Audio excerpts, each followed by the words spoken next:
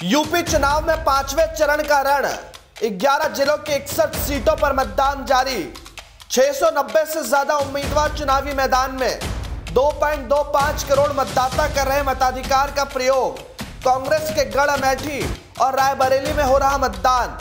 राम मंदिर आंदोलन के केंद्र अयोध्या में भी मतदान जारी।